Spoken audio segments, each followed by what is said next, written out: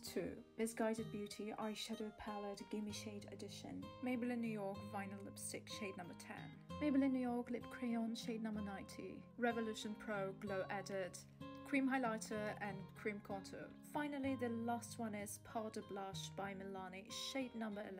Actually, I'm launching a new video on my YouTube channel where I'll be sharing my honest reviews about the cosmetics I've shown you. Alright guys, that was everything I wanted to show you.